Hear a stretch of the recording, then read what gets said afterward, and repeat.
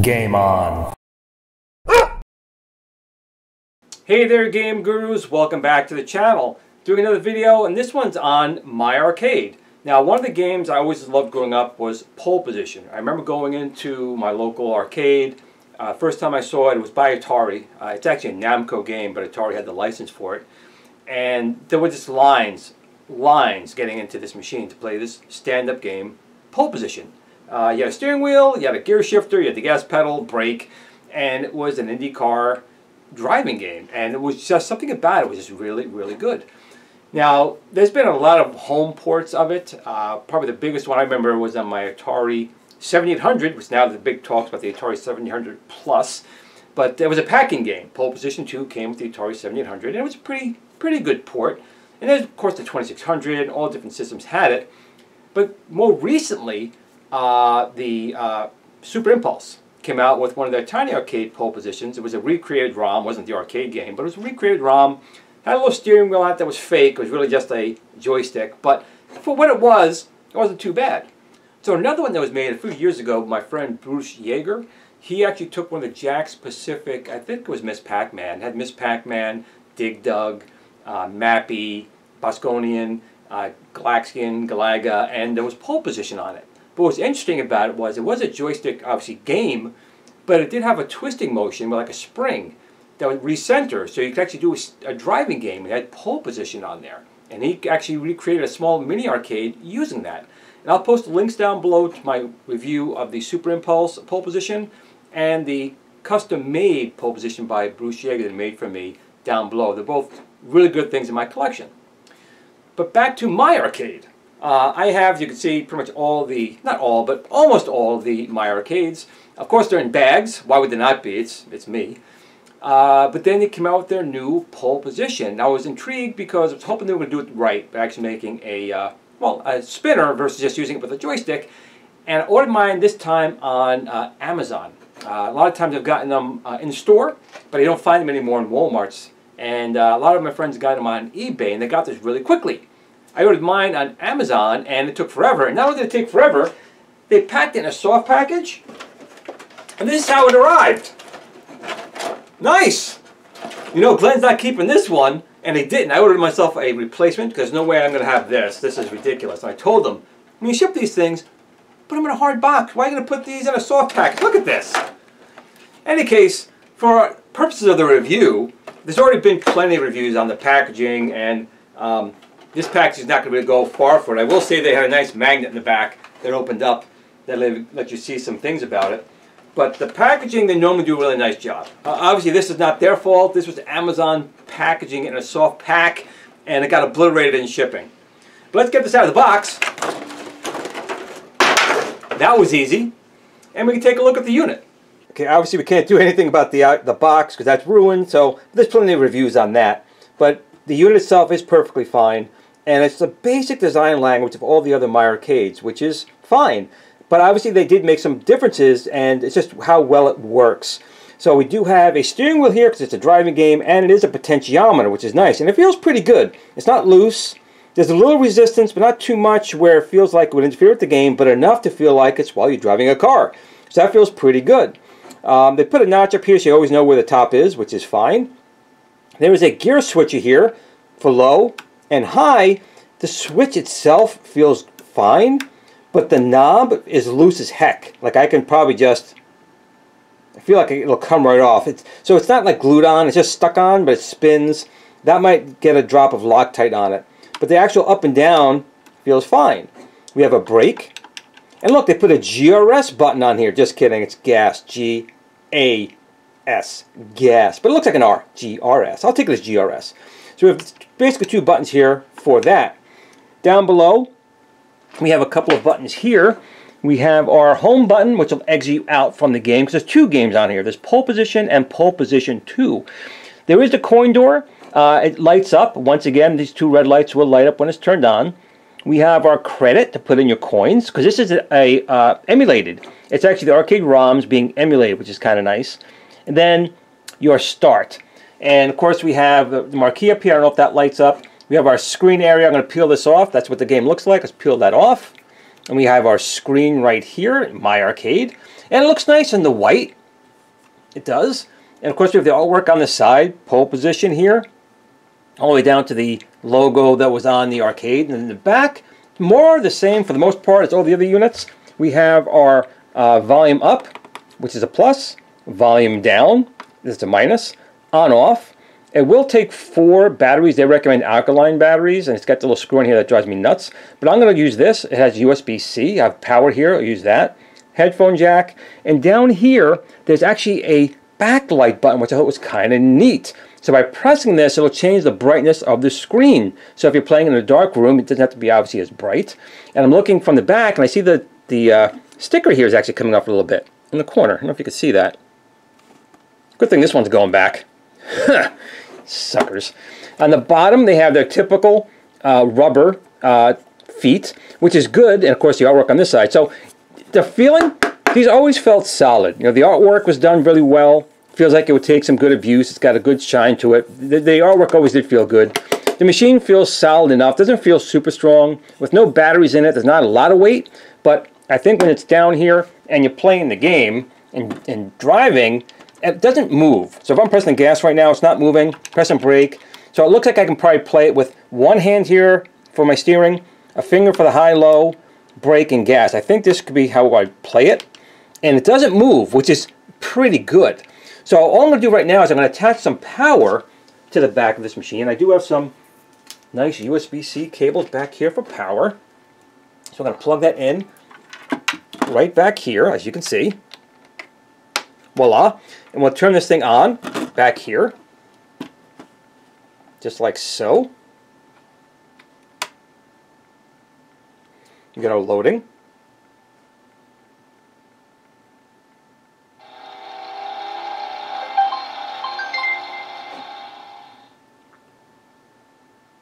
And you can see we have pole position, which is on right now, pole position 2.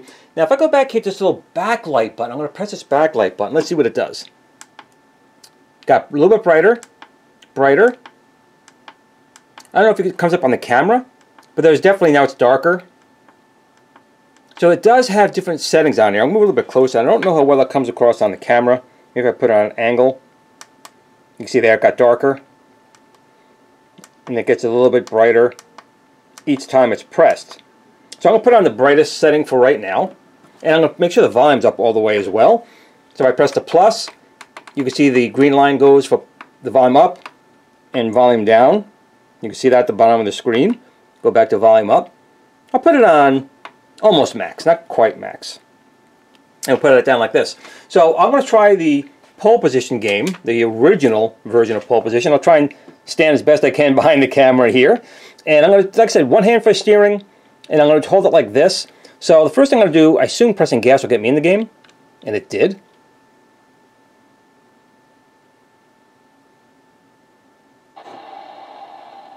The volume was okay, maybe we'll go up to 100%. There we go. So you can see it did ask for a credit, and it goes through, this is what you would normally see in the arcade. You'd hear that little tone to kind of get your attention, the track mode, and it plays a version of the game. And again, the first time I played it was from Atari. Um, they not have any branding on it, because I would say it right up here. It would say Atari, and there's nothing there at all, so they couldn't obviously get that on there. But again, this game was originally designed by Namco. It wasn't even Atari. But I'm going to put a coin in.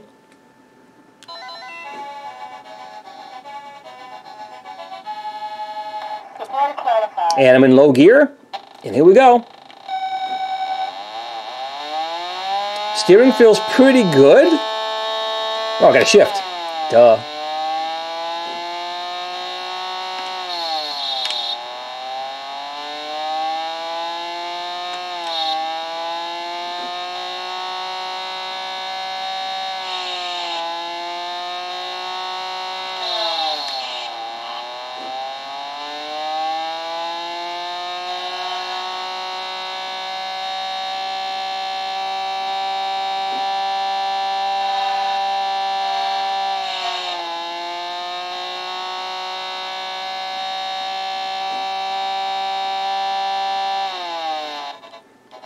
I have to admit, I got fifth place and the steering actually felt pretty good as I got this shift back to low.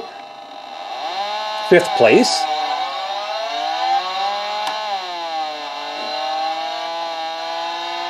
It feels really good playing a game. Oh, of course I crashed.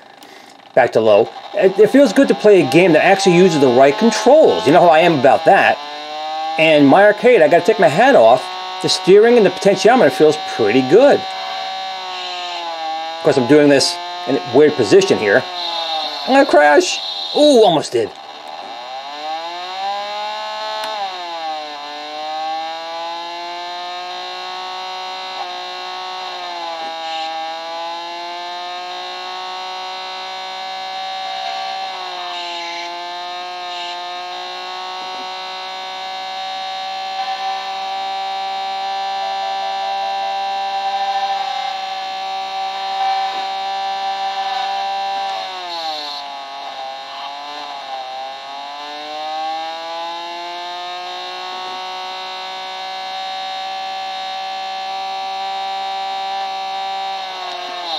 Ah.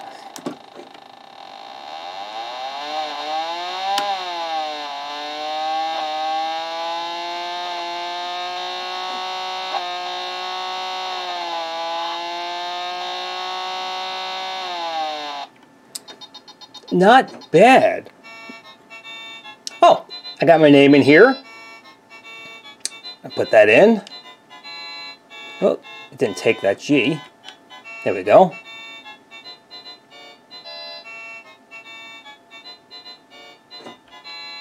Oh, see, the steering wheel is kind of weird there. It's, it was going between the two letters. I couldn't get it right. So there's a little sensitivity thing here. Now I've got it backwards. so the steering for, the, for putting the letters in, it's a little more hard to do. But overall, the steering felt great. Now I'm going to back out of this, and I'm going to assume I press this button here, takes you back, and we'll pick pole position 2. So you can turn it down, you pick the other game, go back to the first game, go back to pole position 2, press the GRS, I'm sorry, G-A-S, gas, but I'll say, still say GRS. Press that over here, center of our wheel, and this is exactly what you would see in the arcade game when you're turning it on. And right now it's saying it's in high, going to put it now into low. It tells you on the screen over here, because it's, it's being done through emulation, so you'll see that as well as you can see it on the stick. And again, so far everything feels good except for the shifting knob. It's just so loose up here, um, which is kind of a shame. Everything else feels pretty good. But we're going to put our coin in. And it says one credit. And we'll pick our track. Just to be fun, I'm going to pick uh, the test track, just to make it easier on myself, because I'm behind the camera. And step on the gas pedal. Oh, I press select maybe? There we go. And I'm going to say the volume sounds pretty good to me here, but it's still not the loudest.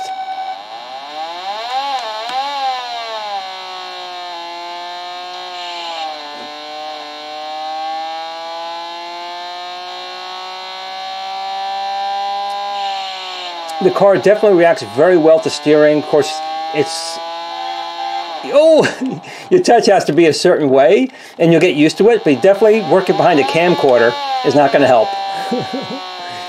oh, wow! Totally my bad. And using the, the controls this way is also not too bad. The machine doesn't move. Those little feet hold it very well. Oh my lord.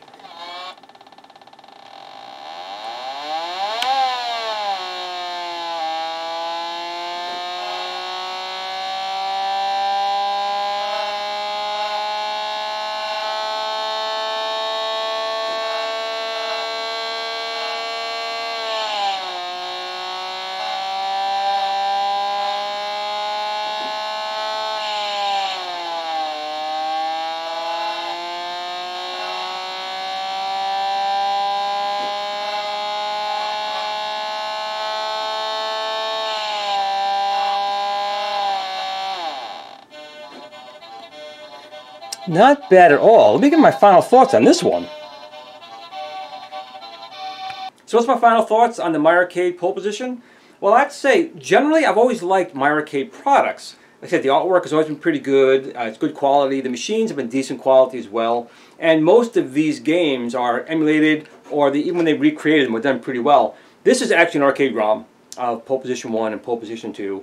Uh, they have a potentiometer here for the steering, which actually feels pretty good. I mean, you got to feel it for yourself. But it's got just enough resistance where you feel like you are driving a car, because on the tires on the street, there's a little resistance there. The uh, gas and brake pedals work well, and it, it's surprising how you can use it because the machine doesn't move, and that's key. These little rubber feet work really well holding it to the surface so you can use a hand and press everything here and work well. If I was going to really critique anything, the shifter itself is fine. The clicking up and down feels fine. But the actual device, this little piece of plastic on there, is just loose and feels flimsy. I wish it was glued on or made tighter. That's the biggest thing there. It's even a little wiggly on there. Um, the buttons don't feel good, and it's hard to see, but these do light up down here, these uh, two little coin doors. Uh, the machine is just, I think, built pretty good. Now, I got this for $49 on Amazon. I don't know how much I'd recommend that because they shipped it in a soft bag which destroyed the, the box that it came in. Uh, everyone who got this off of eBay seemed to have done a better job. But maybe find it in a store. But uh, I do collect these. No, there's no question about that. I collect them. They go in their bags. Um, but I, I enjoy it. I'm going to sit down and play this one some more. If the only really critique I can give is the shifting knob is just not that good. And the volume, for me, sounds good. You may find you wish goes a little higher, but for me, uh, it sounded fine. I'm not the best with hearing either. But it looks really nice. So My Arcade, well done. I wish other companies would take a cue from this and just put a little more effort in like My Arcade did here to make a better product. If this was basically uh, turning it, but it was just like a joystick, I would have flipped out. I, I, no. But they did it right. They took the time and did it right. That's it for this video. Uh, if you did like it, please give it a thumbs up. It takes one second for you, but it really means a lot to me in YouTube algorithms helping me promote my channel. And I would appreciate it. And if you're not currently a subscriber, hit that subscribe button. Uh, not only do I do reviews, I have a product line and I have a lot of new things coming out in 2025 that you may be interested in. And you'll miss out if you're not subscribed to the channel. But to all my 12,000 people who have subscribed, I thank you so much. Over 12 years, 12,000 subscribers. I really appreciate each and every one of you. Um, but that's it. But as fun as this game is, and it is fun, it doesn't take presence of a family and friends. Always tell family and friends that you love them. Tomorrow is never promised. But in between those times, put a credit in, start it up, turn up the volume, and game on. Need some volume. Put my track.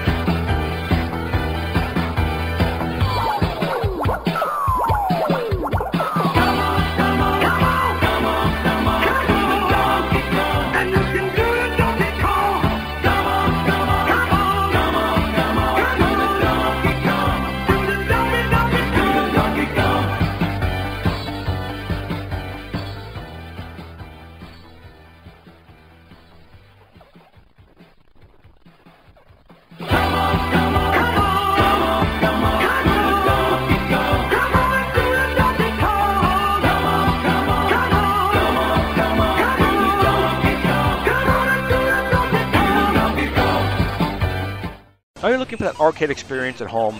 If you don't have the space for a full-size arcade in your house or endless funds, then you need the GRS Build-A-Cade. It's arcade quality without the arcade price, from someone you can trust. The GRS Build-A-Cade is very simple, easy to assemble, 1-6 scale, arcade computer you can build yourself. You can buy interchangeable controllers for every gaming option you need to play the games the way they're meant to be played. You can also design your own artwork or purchase artwork separately to make your GRS Build-A-Cade look like the machine of your dreams. The GRS Build-A-Cade is also the only home system STEM certified. Come see what all the YouTube creators are raving about. GRS Build-A-Cade. Yeah,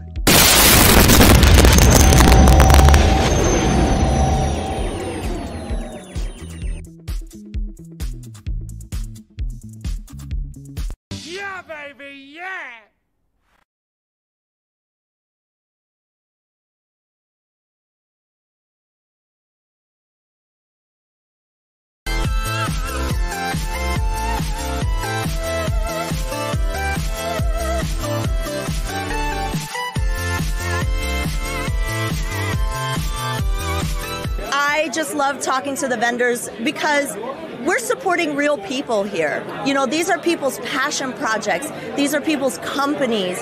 These are the things that we pour our life into to share with others. Um, so it's really beautiful to see. It's really beautiful to see. And one thing that I really want to show you over here, let's take a look at these mini cabs. Because last night I was playing them I was blown away. These cabinets are amazing. I have got to show you my favorite one, which is right here, Robotron. This one is incredible. Although I love NBA Jam, I love Mortal Kombat, Donkey Kong Jr., Arkanoid, this is fun with the paddle. All of these buttons work. So you actually press the button to put the coin in, and then you press start. I'm telling you, this is like the authentic mini experience. So, and then the game starts up, and then you play. Look at this.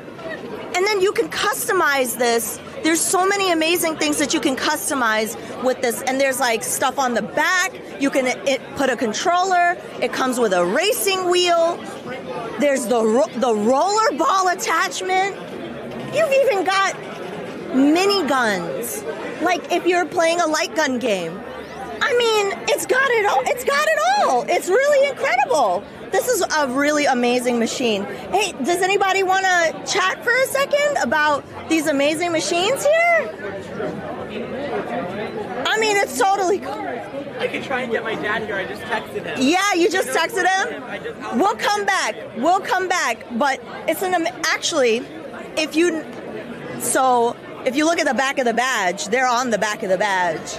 So yeah, do, can you tell us a little bit about your booth or the name of your company? So we're uh, with Glen's Retro Show. Okay. Um, we make um, new controllers for older games. New controllers for older games. That's awesome. I love it. I love it. And I really, really love all of these arcades here. I gotta say, Star Trek is also one of my favorites too. Well, thank you so much. Thank you for your time.